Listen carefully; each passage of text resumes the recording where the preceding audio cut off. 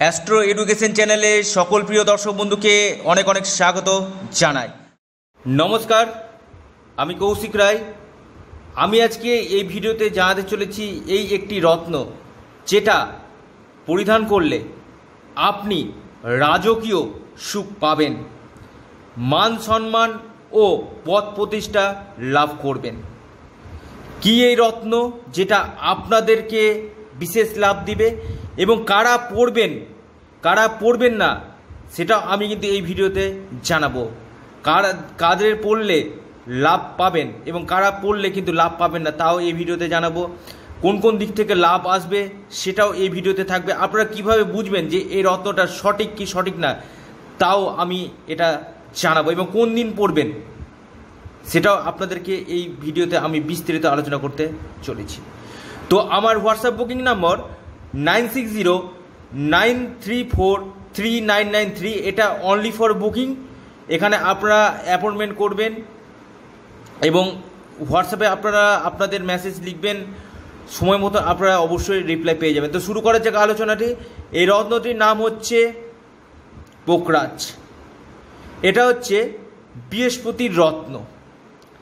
দেখুন, যাদের রাশিচক্রে বৃহস্পতি রাজ্যকারী তারাই এই একমাত্র এই রত্নটি পরিধান করবেন। এই রত্ন পরিধান করলে কি হবে? বিশেষ করে বিবাহিত লাইফ কিন্তু আপনাদের ভালো যাবে। যে মেয়েদের বিয়ে হচ্ছে না, বিয়ে আটকে যাচ্ছে, এই পোকরাজ যদি পরিধান করে, নিশ্চিত রূপে বিয়ের জায়গায়, বিয়ের কানেকশন কিন্তু আসবে, যে মেয়েদের বারবার বিয়ে আটকে যাচ্ছে। এরপরে বলি, যাদের বিবাহিত জীবনে ম্যারেড লাইফ নিয়ে সমস্যা স্বামী স্ত্রীর মধ্যে বন্ডিং হচ্ছে না। অবশ্যই এই রত্ন কিন্তু পরিধান করলে কিন্তু আপনাদের স্বামী স্ত্রীর মধ্যে কিন্তু একটা মধুরতম সম্পর্ক কিন্তু আসবে। এই রত্ন পরিধান করলে আপনাদের মান সম্মান, খ্যাতি, প্রতিষ্ঠা, পদমর্যাদা বৃদ্ধি পাবে এই পোকরাজ। রাজকীয় সুখ কিন্তু পাবেন, রাজার তুল্য আপনি সম্মান কিন্তু পাবেন এই পোকরাজ। সন্তান লাভের ক্ষেত্রে, সন্তান উৎপত্তির ক্ষেত্রে এই পোকরাজের বিশেষ ভূমিকা কিন্তু আছে। যারা পুত্র সন্তান নিয়ে খুব চিন্তা করেন, পুত্র সন্তান লাভের আশা করেন, তারা অবশ্যই এই পোকরাজ পরিধান করবেন। অর্থনৈতিক দিককে আপনার ফিনান্সিয়াল দিকটায় কিন্তু মজবুত করবে, যাতে আর্থিক দিক দিক থেকে দুর্বল। আপনার ফিনান্সিয়াল কন্ডিশন খুব খারাপ, তারা কিন্তু পোকরাজ পড়বেন পোকরাজ আপনাদেরকে কিন্তু বিশেষ লাভ কিন্তু আপনাদেরকে দেবে। এবং আপনাদের কেরিয়ারের ক্ষেত্রেও কিন্তু যথেষ্ট উন্নতি কিন্তু দিবে। যারা টিচিং লাইনে আছেন, যারা অ্যাডভোকেট তাদের ক্ষেত্রে কিন্তু বিশেষ লাভ কিন্তু দিবে এই পোকরাজ। অর্থাৎ জ্ঞানের সঙ্গে যারা যুক্ত আছেন ডক্টর তাদের ক্ষেত্রেও কিন্তু যথেষ্ট লাভ কিন্তু দিবে। তো এই পোকরাজ, এই বৃহস্পতি রত্ন কারা পড়বেন এই ভিডিওতে আমি এবার জানাতে চলেছি কোন কোন লগ্নের রাশির কথা বলছি না, লগ্নের কথা বলছি। আপনার নোট করুন। মেষ লগ্নের জাতক জাতিকারা, কর্কট লগ্নের জাতক জাতিকারা, সিংহ লগ্নের জাতক জাতিকারা, বৃশ্চিক লগ্নের জাতক জাতিকারা, ধনু লগ্নের জাতক জাতিকারা, মীন লগ্নের জাতক জাতিকারা। এই লগ্নের জাতক জাতিকারা যদি এই রত্ন পড়েন, এই পোকরাজ পড়েন, আপনারা কিন্তু বিশেষ লাভ কিন্তু আপনারা পাবেন।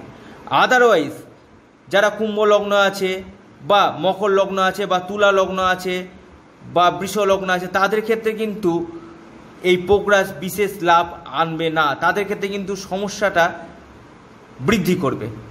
অর্থাৎ, এবং আপনার এই বৃহস্পতি যদি কেন্দ্র এবং ত্রিকোণে থাকে, তবেই কিন্তু এই রত্নটি আপনার পরিধান করবেন। কেন্দ্র এবং ত্রিকোণে যদি থাকে অর্থাৎ লগ্ন, চতুর্থ, পঞ্চম সপ্তম, নবম এবং দশম। এইভাবে যদি থাকে, তবে কিন্তু আপনারা পোকরাজ পরিধান করবেন। কিন্তু ছয় আট বারোতে যদি থাকে, তাহলে কিন্তু ভুল করেও এই পোকরাজ পরিধান করবেন না। তাতে কি হবে? সমস্যাটা বাড়িয়ে তুলবে।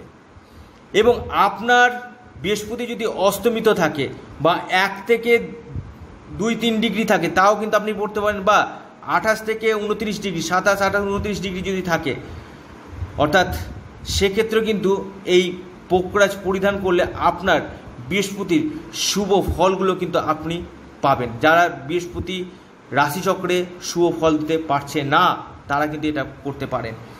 এই বৃহস্পতি রত্নটা আপনারা পড়বেন বৃহস্পতিবার সকালবেলা। শুক্লপক্ষে বৃহস্পতিবার সকালবেলা আপনারা দশটা থেকে এগারোটার মধ্যে পড়বেন।